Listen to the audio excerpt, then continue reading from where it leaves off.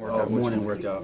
Um, it was, uh, matter of fact, I was heading to, to the gym with Delmas, and uh, you know he called me, and you know it was done, and I was just happy that it was over with, and I continue to focus on football. Bonarito, is that where you're going? Uh, and I work at a place called Legacy Fit in Miami. Okay. Um, me, and my, me, and my, me and my trainer work out one on one, and uh, he was excited about it because I've been with him for so long. and He's seen, you know, me start from the bottom and actually get to where I'm at, and, uh, knowing where I'm going.